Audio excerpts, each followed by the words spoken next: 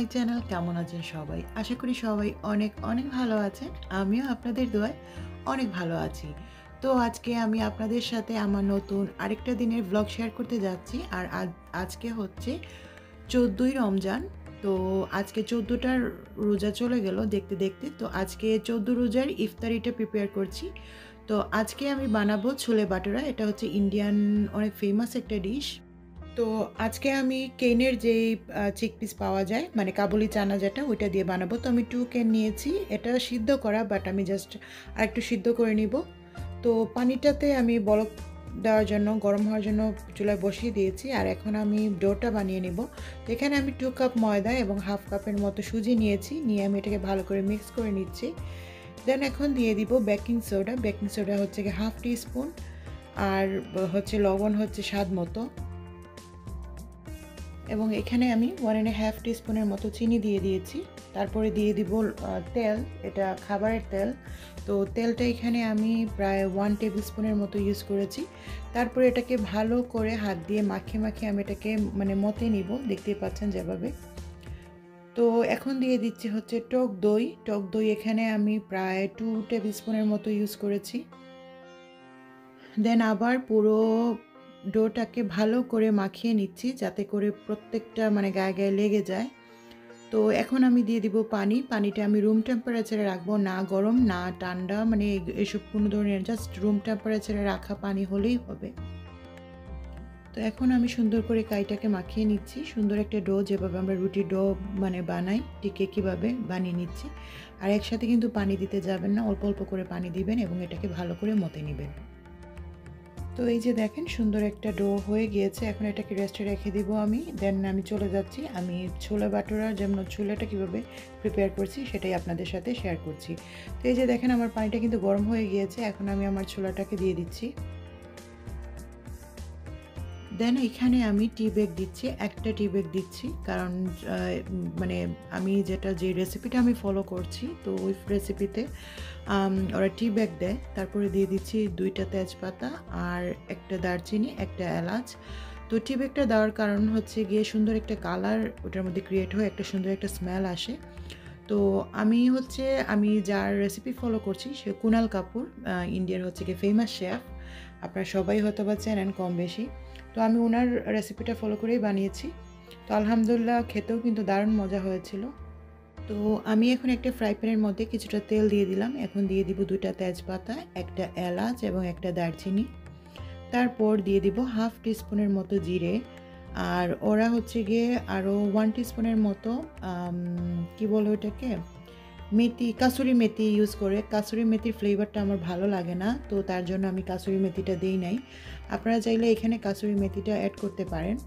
তো ওদের মানে কুনাল কাপুরের যেই রেসিপিটা ফলো করছি, ওইখানে কিন্তু কাসুরি মেথি উনি ইউজ করেছেন। বাট আমার কাসুরি মেথি ফ্লেভার ভালো লাগে না, বিদায় আমি এটাকে স্কিপ করেছি।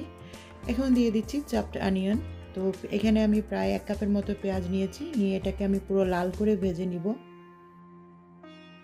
তো কারা কারা আমার মতো কুনাল কাপুরের ফ্যান আমি তো মাস্টার শেফ ইন্ডিয়াতে শুধু কুনাল কাপুরের জন্যই কিন্তু আমি মানে ওই শোটা দেখতাম। আমার জানি না ওনার রান্নাটা আমার এত পছন্দ আর এত ইজিলি সে মানে বুঝাই দিতে পারেন। তো আমার ভালোই লাগে। তারপর এখানে দিয়ে দিচ্ছি আমি এখানে হাফ টিস্পুন আদা বাটা হাফ টিস্পুন হচ্ছে কি রসুন বাটা। দিয়ে এটাকে আমি আবারও লাল করে ভেজে নিব। তারপর দিয়ে দিচ্ছি এখন যত শুকনো উপকরণ আছে সব কিছু তো শুকনো উপকরণের মধ্যে আছে ধনে গুঁড়ো one teaspoon sorry half teaspoon মরিচের গুঁড়ো হাফ টিস্পুন জিরে গুঁড়ো হাফ টিস্পুন মানে প্রত্যেকটা যত ড্রাই ইনগ্রিডিয়েন্ট আছে, ধনে গুঁড়ো, মরিচের গুঁড়ো জিরে গুঁড়ো, এগুলো হচ্ছে হাফ টিস্পুন হাফ টিস্পুন দিব। আর ঝালটা হচ্ছে গিয়ে আপনার মানে টেস্ট অনুযায়ী দিবেন, আপনি কতটুকু ঝাল খাবেন বা ইয়ে করবেন। তো আমি একটু ঝাল ঝাল এটাকে রান্না করব। কারণ ছোলে বাটারটা ঝালই ভালো লাগে। তো যেটা বলছিলাম, কুনাল কাপুরের কিন্তু শোগুলো আমার এত পছন্দ আর আমি কিন্তু বিগ ফ্যান ছিলাম ওনার। আমি মানে ঘড়ি ধরে বসে থাকতাম কখন মাস্টার শেফ ইন্ডিয়াতে সে মানে আসবে এবং সে কীভাবে কথা বলছে, কীভাবে প্রেজেন্টেশন করছে, প্রত্যেকটা জিনিস কিন্তু আমার ভালো লাগতো। শুনলে একটু হাস্যকর মনে হবে বাট আমি জানি না, আমার অনেক ভালো লাগতো।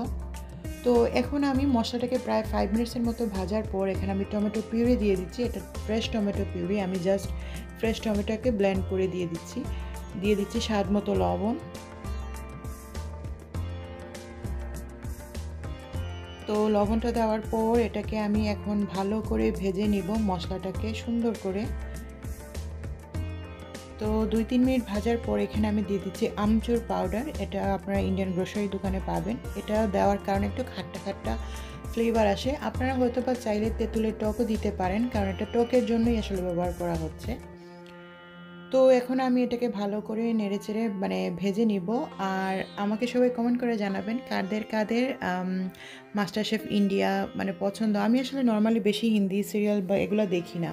আমার পছন্দের মধ্যে কয়েকটা আছে এভরি ইয়ার ওগুলো আসে, একটা একটা করেই। যেমন মাস্টার শেফ তারপর হচ্ছে বিগ বস আর আরেকটা কি জানি ছিল? ও, নাগিন হ্যাঁ নাগিনটা আমি কিন্তু অনেক পছন্দের ছিল। তো এটা দেখা যেত যে মানে বছরে একবারই তিন মাসের জন্য অথবা দুই মাসের জন্য আসতো। তো আমি না মানে অনেক ওয়েট করতাম, সারা বছর ওই শোগুলোর জন্য ওয়েট করতাম। তো এইবার আসলে কিছুই তো মানে হচ্ছে না, দুনিয়াটাই একদম থমকে গেছে, আর এগুলা কি হবে? তো এত সুন্দর একটা মাস যাচ্ছে, আমরা সবাই কিন্তু আমরা একে অপরের জন্য দোয়া করি, আল্লাহ তালা যেন আমাদের এই মুসিবত থেকে পরিত্রাণ দেন। তো যাই হোক, মশলাটা আমার ভাজা ভাজা হয়ে গিয়েছে, এখন আমি আমার কাবুলি চানাগুলোকে দিয়ে দিচ্ছি, আর যে টি ব্যাগটা আপনাদেরকে দেখিয়েছিলাম, সেই টি ব্যাগটা কিন্তু তুলে ফেলেও দিয়েছি। তো আমার কিন্তু ছোলা মানে ছোলা বাটুরের ছোলাটা কিন্তু প্রায় নাইনটি পার্সেন্ট খুব মানে নাইনটি পার্সেন্ট ডান এখন জাস্ট গ্রেভিটা একটু ঘন হবে তারপরে এটাকে নামিয়ে নিব। আর গ্রেভিটা আপনি কতটা ঘন ছাড়ছেন সেটা হচ্ছে আপনার উপর নির্ভর করছে। তো আপনি সেই স্বাদ অনুযায়ী দিয়ে দিবেন। আর কুনাল কাপুরের রেসিপিতে বাটার ছিল না বাট আমি কেন জানি আমি বাইরে ইন্ডিয়ান একটা স্টোরে খেয়েছিলাম, আমার কাছে একটু বাটারি ফ্লেভার মনে হচ্ছিল। তো তার জন্য আমি এখানে হাফ স্টিকের বাটারটা দিয়ে দিলাম। আর যেই তেজপাতাগুলো দারচিনি রেখেছিলাম, ওগুলোকে তুলে নিয়েছি। এই তো হয়ে গেছে, দেখেন কি সুন্দর একটা কালার আসছে। তো এখন এটাকে আমি রেখে দিব। যখন সার্ভ করব, তখন ধনে পাতা দিয়ে উপর থেকে দিয়ে দিব। তো এই যে দেখেন, আমার রুটির ডোটা কিন্তু অনেক সুন্দর সফট হয়েছে। এখন আমি ছোটো ছোটো লেচি কেটে নিচ্ছি, যেরকম করে আমরা পরোটা বানাই। তো এরকম করে ছোটো ছোটো লেচি কেটে নিব। আর এই ছোলে বাটারের কিন্তু বাটারাটা বানাতে কিন্তু একদমই ইজি দেখতেই পাচ্ছেন। আমি একটু বেলুনের মধ্যে তেল দিয়ে দিলাম, দিয়ে আমি রুটিটাকে স্প্রেড করে নিচ্ছি। আর এটা কিন্তু নর্মাল যেই রুটিটা আমরা বানাই বা পরোটা বানাই, একটু ময়দা দেওয়া লাগে, তারপর হচ্ছে একটু ভালো করে ইয়ে করা লাগে, এটা কিন্তু না। তো আমি একটা একটা লেচি বানাচ্ছি এবং ডাইরেক্ট তেলের মধ্যে রেখে দিচ্ছি। এবং আজকে আমি আপনাদেরকে সেটাও দেখাবো যে কীভাবে এই রুটিটাকে ফ্রোজেন হিসেবেও আপনারা মানে রাখতে পারবেন। যখন আপনার ইচ্ছে হবে, তখন বানিয়ে কিন্তু খাওয়া যাবে। তো দেখেন মাসাল্লাহ কত সুন্দরভাবে রুটিটা ফুলেছে। আর রুটিটা ভাজার আরেকটা টেকনিক আছে সেটা বলি। একদম গরম তেলে কিন্তু রুটিটা ভাজবেন আর ম্যাক্সিমাম কিন্তু টু টু থ্রি মিনিটসের মতো রুটিটাকে তুলে নেবেন। যদি তার থেকে বেশি আপনি রুটিটা ভাজতে যান, তাহলে দেখা যাবে একটা শক্ত হয়ে যাবে। যেহেতু এখানে দেওয়া আছে বেকিং সোডা সো বেকিং সোডার কারণে রুটিটা কিন্তু পরবর্তীতে একদম শক্ত হয়ে যায়। তো আপনারা সাথে সাথেই কিন্তু এটাকে নামিয়ে নেবেন। মানে টু টু থ্রি মিনিটস এর থেকে বেশি কিন্তু দিবেন না। আমি কিন্তু যখনই ফুলে যাচ্ছে, যখনই অল্প একটু কালার চলে আসছে, আমি সাথে সাথে কিন্তু নামিয়ে একটা হটপটের মধ্যে রেখে দিচ্ছি। আর এই যে দেখেন, রুটিগুলোকে আমি ক্লিয়ার মানে প্লাস্টিক দিয়ে একটার পর একটা করে রেখে দিয়েছি। তো এটা আমি চাইলে ফ্রোজেন করে রাখতে পারব, যখন আমার দরকার, তখন কিন্তু বানিয়ে নিতে পারব। তো আমার রুটিগুলো ভাজা শেষ হয়ে গিয়েছে। এখন আস্তে আস্তে ইফতারের যে ভাজার যে আইটেমগুলো আছে ওগুলো ভেজে নিচ্ছি। তো প্রথমে আমি পেঁয়াজু দিয়ে স্টার্ট করছি। তো পেঁয়াজুটা বানিয়ে নিচ্ছি। তো চুলায় পেঁয়াজুটা দিয়ে দিচ্ছি। আর এখন আমার পিচিটাকেও দেখছি। পিচিটা তো ঘুমাচ্ছে। তো ঘুমাতে থাক, আমি টেবিলটা একটু একটু করে সেট করে নিই।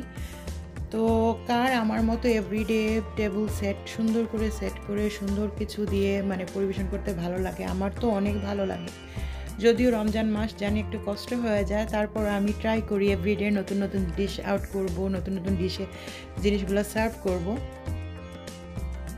আর আজকের ইফতারিতে ছিল ড্রিঙ্কস মকটেল আপনারা যদি এই রেসিপিটা চান, অবশ্যই আমাকে জানাবেন। দারুণ মজার, অনেক ইজিভাবে কিন্তু এটা রেডি করা যায়। তারপর আমি শিশ কাবাব ভেজে নিচ্ছি। শিশ কাবাবটা ফ্রোজেন ছিল জাস্ট ঘি দিয়ে এটাকে গরম করে নিচ্ছি। তো এই যে আস্তে আস্তে করে সব কিছু মানে টেবিলে টেবিলে নিয়ে আসছি। আর আমার তো এই ডেকোরেশনগুলো অনেক ভালো লাগে। কয়েকটা নাম্বার মিসিং হয়ে গিয়েছে। আমার এইডেন এভরিডে যখন এক একটা বক্স পিক করে, তখন দেখা যায় সে ফেলে দেয়।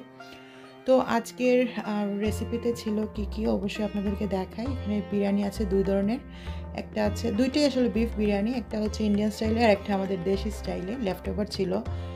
তো আর বাইরের দেখেন, পরিবেশটা অনেক সুন্দর। আমার কেন জানি, ইফতারের ঠিক আগ মুহূর্ত আমার এত ভালো লাগে বাইরের দিকে তাকাতে। আর মনে হয় যে পুরো দুনিয়াটাই মনে হয় শান্তি, কিন্তু বাইরে কি পরিমাণ আমাদের পরিস্থিতি খারাপের পথে যাচ্ছে, যেটা কল্পনা করা যায় না। ইন্ডিয়ার অবস্থা তো অনেক খারাপ এখনও সময় আছে আমাদের বাংলাদেশের আমাদের বাংলাদেশ সরকারের দৃষ্টি আকর্ষণ করা দরকার। ওরা যেন ইন্ডিয়ার বর্ডারটা ক্লোজ করে দেয়। কারণ ইন্ডিয়াতে যেই পরিমাণ মানে কোভিডের কারণে মানুষের প্রাণ যাচ্ছে, বাংলাদেশও কিন্তু একদম মানে পরবর্তী দেশ। বাংলাদেশও কিন্তু অনেক সতর্কতা অবলম্বন করা দরকার। তো আমরা আমরা যার যার নিজের দায়িত্ব থেকে মাস্ক পরবো, হাইজিন থাকার চেষ্টা করব, বা বেশি দরকার ছাড়া বাইরে যাব না। আমাদের প্রতিবেশীদের বাসায় খাবার আছে কিনা, গরিব যারা আছে তাদের বাসায় খাবার আছে কিনা তার খোঁজখবর নিব। আজকাল ফোনের জব মানে দুনিয়া। ফোন দিয়ে কিন্তু সব কিছু, একটা রিক্সা ড্রাইভারের হাতেও কিন্তু ফোন থাকে। তো আমরা যদি একে অপরের এভাবেই যদি খোঁজখবর নেই, এভাবেই সাহায্য করি, আল্লাহ তালা ইনশাল্লাহ আমাদের এই ইয়ে থেকে খুব তাড়াতাড়ি কিন্তু মুক্ত করবে। তো আজকে আমি আর কথা বাড়াবো না। আমার ব্লগটা আমি এখানেই শেষ করব। আর আপনারা হয়তো আমার কথা বলার ছলে ছলে দেখতেই পেরেছেন। আপনাদের সাথে কথা বলছিলাম এবং আমি সব কিছু ক্লিনও করে নিয়েছি। তো আজকে আর কথা না বাড়িয়ে আমার ব্লগটা আমি এখানেই শেষ করব। সবাই ভালো থাকবেন, সুস্থ থাকবেন, বাসায় থাকবেন, নিরাপদে থাকবেন। আমার জন্য দোয়া করবেন, আমার ফ্যামিলির জন্য দোয়া করবেন। আল্লাহ হাফিজ।